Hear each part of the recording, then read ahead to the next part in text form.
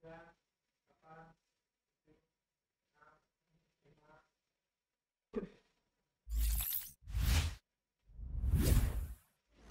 selamat datang di podcast Desa Bersama.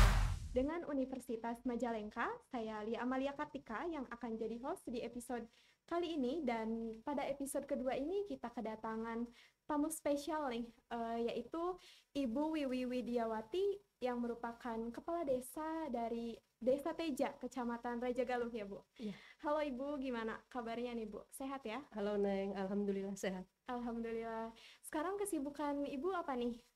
Eh, biasa masih seputar di desa ya, dengan kegiatan-kegiatan bersama masyarakatnya beserta perangkat desanya. Oke, berarti eh, lagi fokus ke desa ya Bu Iya, ya? karena akhir tahun Neng, jadi Oh, kita lebih fokus ke paling eh, di bidang laporan-laporan ya, seperti di bidang administrasinya gitu, dan untuk mempersiapkan perencanaan di tahun 2022. Ah, baik. Iya. Tentunya eh, membutuhkan perencanaan yang matang ya Bu ya Oh, untuk tahun harus, depan. harus, Oke. iya. Oke, Ibu, eh, kalau boleh nih, biar lebih apa ya, lebih santai gitu, lebih akrab, boleh nggak sih Bu kalau saya panggil Ibu dengan sebutan Teh gitu? Hmm, boleh banget, Boleh biar banget serasa ya? muda lagi. Terasa muda banget ya Bu ya? Iya. Oke. Oke, baik. Eh, Teh Wiwi, mohon izin ya Bu ya. Iya. Oke. Nah, eh, sebelum kita lanjut ngobrol-ngobrol nih tentang potensi desa yang ada di Teja, eh, pengen tahu dulu biografi Teteh sebagai kepala desa di sana nih. Kalau boleh, eh, Teteh itu kelahiran tahun berapa? Eh, kelahiran tahun 83. Tahun 83. Iya. Tapi mukanya tuh masih muda banget ya, Oh, Bu ya. makasih. Masih seperti anak milenial. Iya, kita nggak jauh ya kalau dideketin maksudnya. Oke, kemudian eh, Teteh ini lulusan mana kalau boleh tahu? Eh, kalau SD-nya dari SD Teja 2 Desa Teja, eh, SMP-nya di SMP 1 Negeri Reja Galuh Ya. dan SMK-nya SMK Budi Tresna Cirebon dan S1-nya saya lulusan di Universitas Majalengka Unma. Wah. Teteh lulusan Universitas Majalengka. Iya, Tahun berapa nih kalau boleh tahu? tahun 2018. 2018. Berarti tiga tahun yang lalu ya? Iya, tiga tahun yang Tiga lalu. tahun yang lalu. Eh, kalau boleh tahu mengambil prodi apa di Universitas Majalengka? Eh, prodi administrasi negara. Administrasi Iya. negara.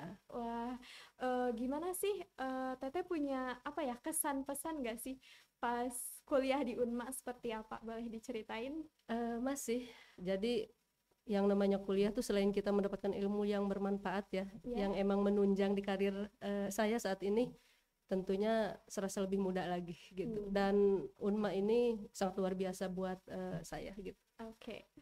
Berarti 2018, tiga tahun yang lalu itu Teteh sudah jadi kepala desa? Sudah. Sudah jadi kepala Iya, desa. Berarti ketika menjadi kepala desa eh, sekaligus kuliah di Universitas Majalengka. Ya, Oke, berarti eh, apa ya? Linier ya? Iya. Oke. Eh, kemudian sebelum menjadi kepala desa, eh, kalau boleh tahu eh, apa ya? Profesinya itu seperti apa kesibukannya, Bu? ya paling biasa sih kayak ikut berdagang bersama orang tua gitu kan, jualan buah-buahan. Terus saya juga basicnya adalah dari seorang mantan TKW ya. Mantan TKW. Baik. Eh, kalau boleh tahu, Ibu eh, mantan TKW ya? Iya. Nah, setelah eh, TKW di mana dan setelah TKW kenapa kok termotivasi menjadi kepala desa?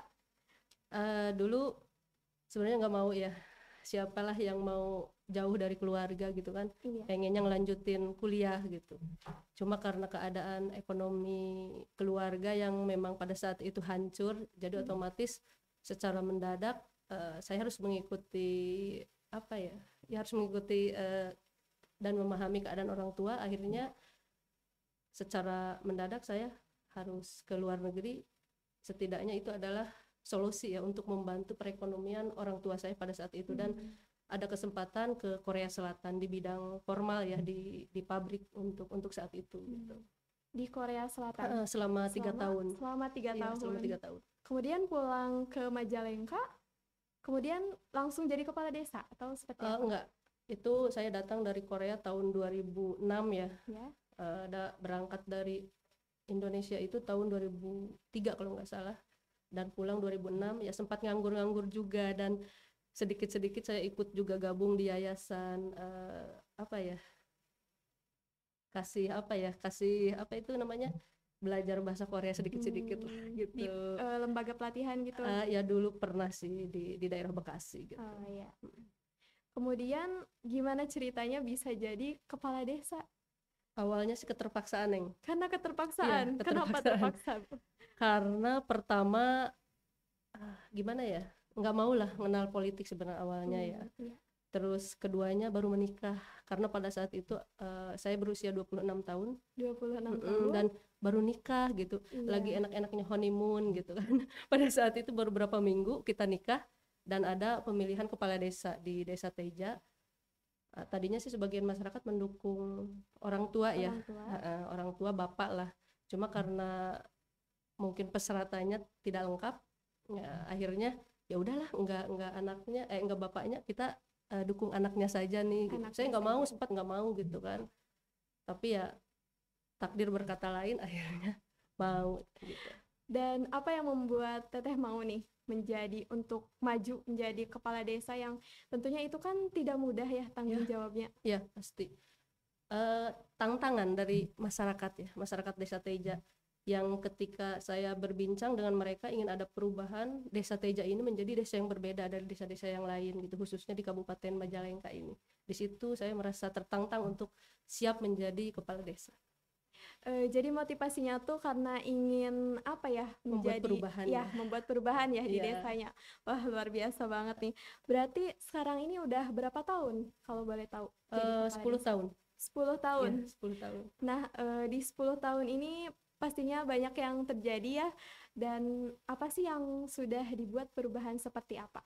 Eh, ya paling paling eh, di bidang eh, sarana prasarana ya seperti infrastrukturnya gitu. Infrastruktur. Eh, alhamdulillah lebih baik lah gitu.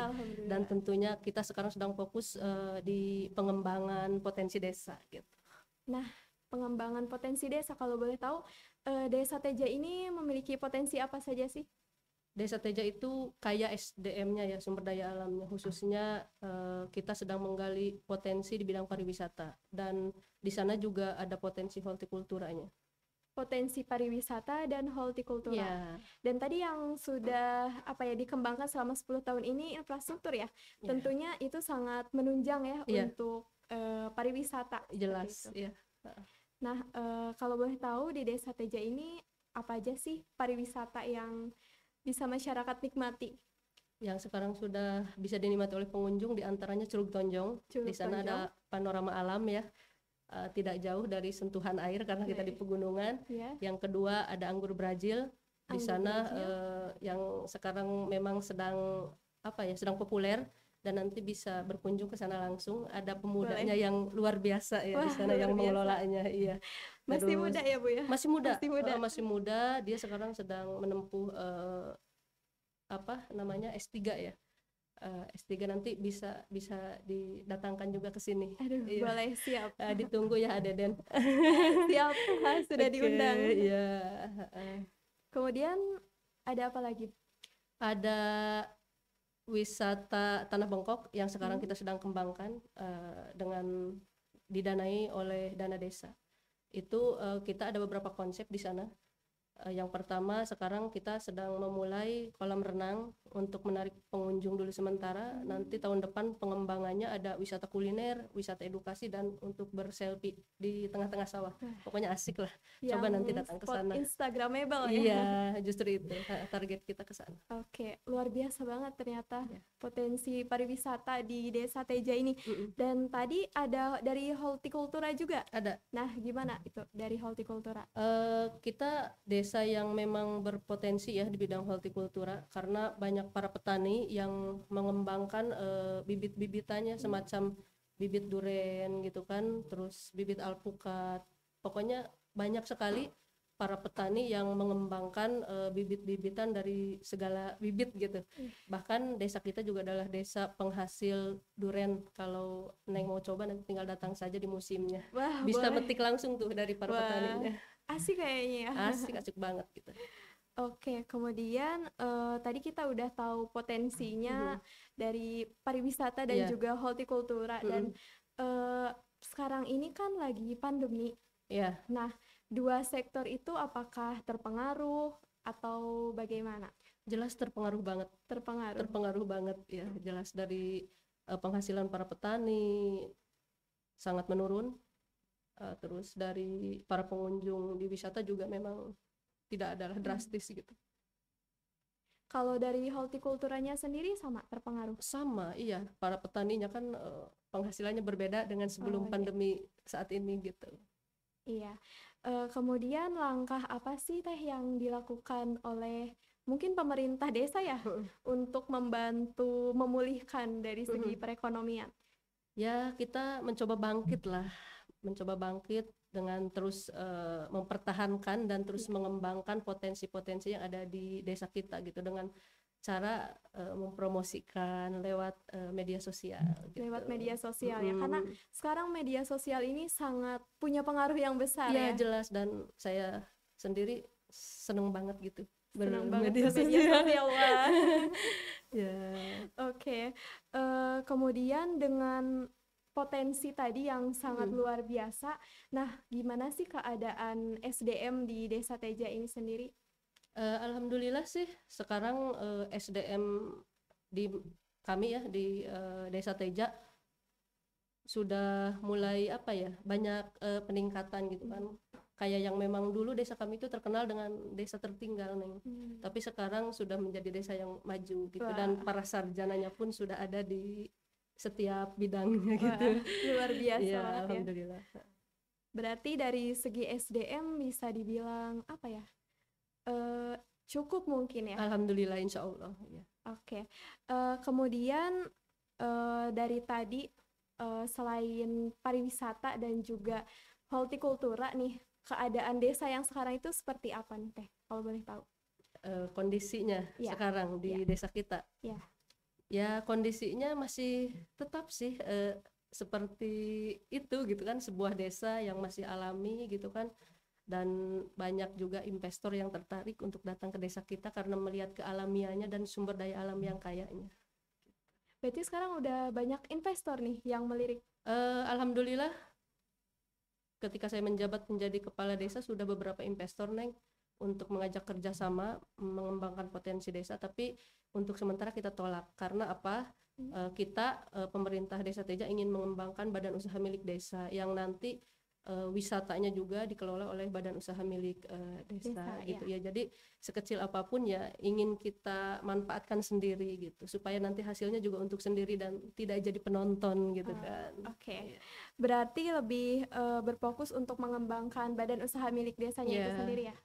Eh, kalau sekarang badan usaha milik desanya seperti apa? Sudah seperti apa perkembangannya? Eh, masih dalam tahap pengembangan karena Dalam memang baru pengembangan. tahun kemarin eh, kita membentuknya ya karena awalnya saya tidak berani sebelum ada wadah yang memang eh, kualitasnya luar biasa karena Iya. BUMDes ini kan ketika kita dibentuk harus emang benar-benar eh, apa ya harus benar-benar eh, berkualitas karena kan nanti pengelolaan kekayaan eh, pe- pengelolaan pengelolaan wisata yang sekarang eh, sudah ada juga kan nanti dikelola oleh BUMDes. BUMDes, Jadi emang yang kita nggak mau yang apa ya abal-abal lah gitu ya.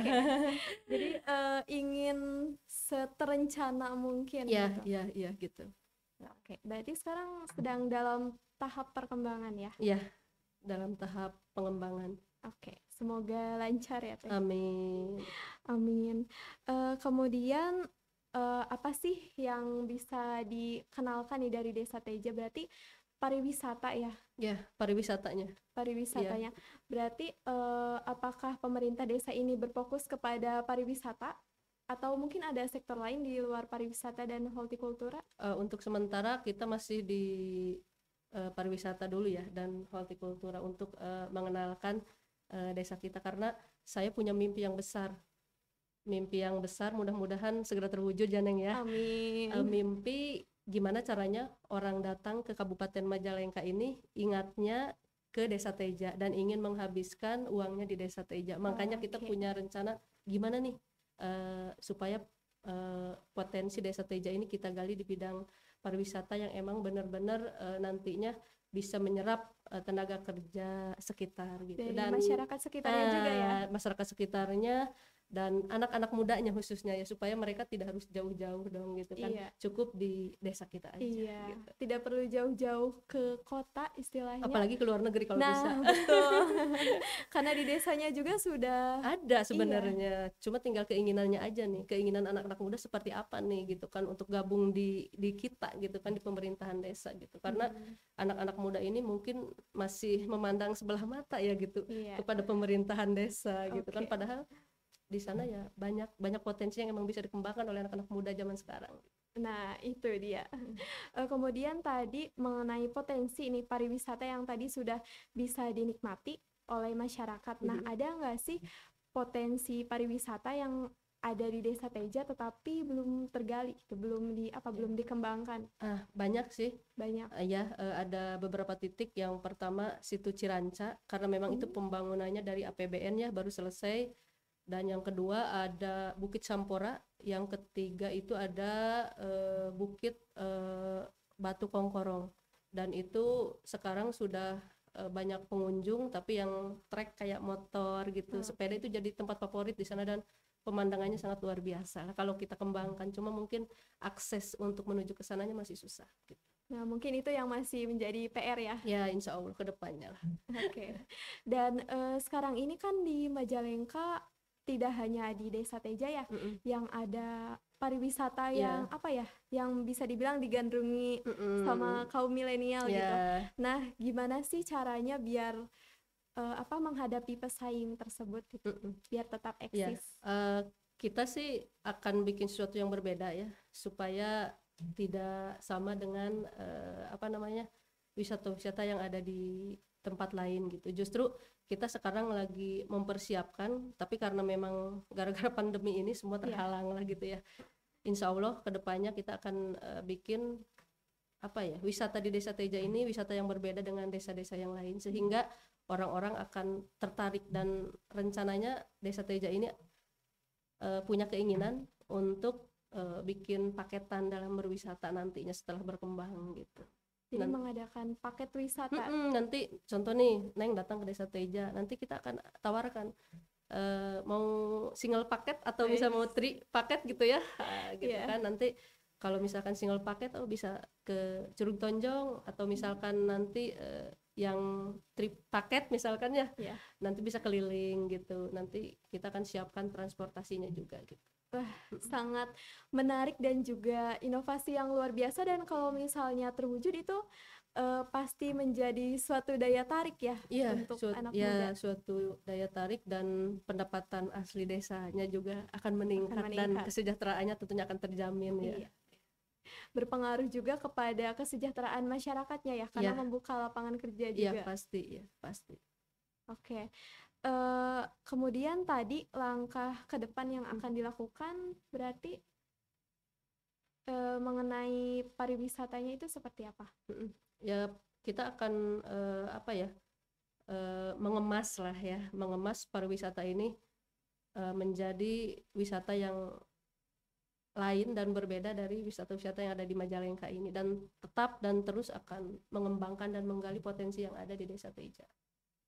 Eh, ada rencana nggak sih tentang apa terhadap SDM-nya? Apakah misalnya ingin mengadakan pelatihan Mm-mm. untuk menunjang apa ya? eh, Sumber daya. iya sumber dayanya atau seperti apa? Mm-mm. Iya, eh, kita sudah memulai juga itu sih, gitu kan. Oke. Dari mulai kita adakan pelatihan yang sumbernya dari dana desa ya, seperti eh, peningkatan apa di bidang olahraga gitu kan, terus pelatihan di bidang pengelolaan bumdes gitu kan, terus sumber daya manusianya kayak perangkat desanya, anak-anak mudanya gitu. Kita sudah memulai untuk itu. Gitu. Sudah memulai untuk itu.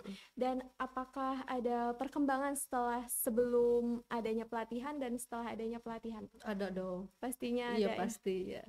Dan itu akan lebih menunjang lagi ya potensi yang ada di Desa Teja jadi Iya. makin muncul lagi Iya, itu target kita. targetnya Ya, supaya itu. bisa apa ya menarik eh, para pengunjung ini datang ke desa Teja gitu. Oke. Eh, kemudian apa sih tanggapan Teteh eh, mengenai anak muda yang apa ya mungkin bisa dibilang belum saat ini belum melihat desanya sendiri tapi justru malah ingin bekerja misalnya di- Keluar, keluar dari desanya seperti itu Ya, justru saya pribadi sangat prihatin nih gitu kan. Ketika saya ber apa ya, berbincang dan ngobrol nih sama anak-anak muda seperti si Neng ini ya, Iya. yang masih kuliah-kuliah. Ketika saya tanya ya cita-cita mereka eh, jadi pegawai negeri sipil, jadi inilah jadi itulah gitulah ya. Eh, Iya. Tidak ada yang bercita-cita jadi kepala desa atau perangkat desa gitu. Nah, justru gimana sih caranya saya tuh dengan kepemimpinan saya eh, khususnya anak-anak muda bisa tertarik gitu eh, ikut eh, berperan membangun desanya karena kalau menurut pribadi saya nih yang namanya bekerja di desa itu bukan hanya saja kita mengabdi atau melayani masyarakat tapi Hmm. ada eh, segi ibadahnya yang Ya. kita dapatkan dari pekerjaan ini gitu dan dengan adanya undang-undang desa nomor 6 tahun 2014 ini kan administrasi itu tidak seperti dulu gitu kan Hmm, ya. ini kan sudah semuanya sistem eh, apa ya sistem komputer ya Iya. sudah serba online gitu data-data dan lain sebagainya justru di sini dibutuhkan eh, apa namanya eh, anak-anak muda yang memang kompeten di bidang ini gitu Hmm. Oke, berarti eh, secara sumber daya apa ya eh, untuk anak mudanya sendiri inginnya seperti itu ya. Mm, pengen mereka tertarik lah gitu eh, Iya. dan bergabung sama kita kan emang kita jelas-jelas butuh sih jelas-jelas butuh generasi-generasi muda ini gitu. Dan langkah apa sih yang sudah dilakukan untuk eh, apa ya untuk mewujudkan hal tersebut? memulai dari Karang Taruna dulu Karang Taruna. Hmm, Karang Taruna dulu eh, kita selalu banyak melibatkan mereka dalam kegiatan-kegiatan eh, di pemerintahan desa kayak misalkan ada kegiatan apa ya ulang tahun desa Hmm. ya gimana caranya aja lah sedikit-sedikit mereka mau eh, masuk dulu ke desa gitu dan mereka senang gitu kan eh, berada di lingkungan desa ya kayak eh, misalkan tadi pembukaan wisata gitu kan dan pengelolanya juga kita libatkan anak-anak muda gitu Anak-anak muda ya. Mm, Itu eh, merupakan salah satu langkah ya yang Iya. sudah dilakukan. Iya. Dan berarti bisa dibilang Karang Taruna di Desa Teja ini eh, cukup aktif ya berpartisipasi dalam kegiatan di desa. sangat aktif sekali Eh, di desa Teja ini alhamdulillah kompak dari perangkat desanya lembaga desanya terus ibu-ibu kadernya Wah. gitu kan ibu-ibu PKK gitu dan Karang Tarunanya ini juga sangat luar biasa gitu Sangat luar ya biasa. apalagi di bidang olahraganya Wah, biasanya eh, apa sih yang aktivitas-aktivitas yang biasanya sudah dilakukan? Eh, ya paling di bidang olahraga ya Iya. Eh, kita poli gitu polibal gitu paling kegiatan-kegiatan itu saja sementara gitu kayak misalkan mengadakan perlombaan Mengadakan perlombaan. Heeh, gitu Tapi itu eh, secara rutin dilaksanakan. rutin eh, ya paling rutin adalah 17 Agustus 17 Agustus pasti. pasti itu kan tiap desa juga pasti ada lah Iya. gitu. kita bikin semeriah mungkin tuh kalau di hari-hari itu untuk menarik eh, generasi-generasi muda gitu Oke. Ternyata eh, di desa ini sangat apa ya? Sangat menarik untuk diulik ya. Iya. pasti Eh, kemudian untuk sumber dayanya sendiri, nah Ibu eh, berharap apa sih untuk eh, apa sumber daya yang ada di Desa Teja? Eh, sumber daya apanya nih Sumber daya manusia. Oh, sumber daya manusianya. Eh, tentunya mm, harapan saya untuk sumber daya manusianya mereka mudah-mudahan eh, lebih tertarik lagi ke jenjang pendidikan yang lebih tinggi ya gitu karena tidak akan rugi lah eh, yang namanya ilmu gitu. Iya. Dan itu terasa saya juga yang memang sudah tua seperti ini masih insya Allah masih semangat dan sekarang sedang eh, apa ya sedang menyusun tesis ya. Wah, sedang menempuh pendidikan S2 ya. S2 iya. Kebetulan eh, suami juga mendukung gitu. Akhirnya ya daripada apa ya daripada diem di rumah gitu kan ketika hari Jumat dan Sabtu ya saya meluangkan waktu untuk eh, ke Bandung kebetulan saya di Unpas gitu Sangat luar biasa sekali Iya. selain eh, aktivitasnya menjadi kepala desa juga ada kesibukan kuliah. ya Menjalankan. eh, ya untuk menunjang karir kita aja neng gitu Oke. karena kepala desa zaman sekarang kan tidak hanya pengalaman saja Iya. dari dari segi eh, ilmu pengetahuannya juga memang harus menunjang ya gitu karena kita dihadapkan dengan apalagi undang-undang desa gitu kan Oke, dan eh, yang terakhir nih, eh, apa sih eh, harapan Teteh atau mungkin lebih ke wejangan sih buat anak muda yang eh, bisa agar lebih bisa mengembangkan potensi desanya masing-masing begitu.